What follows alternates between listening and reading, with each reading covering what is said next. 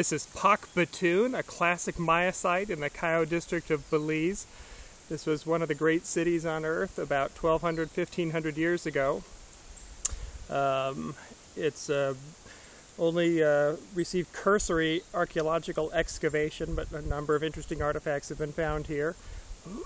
this is the main uh, temple. I'm standing in the middle of the main plaza, and I'll just sort of do a panorama so you can see the uh, rest of the main plaza.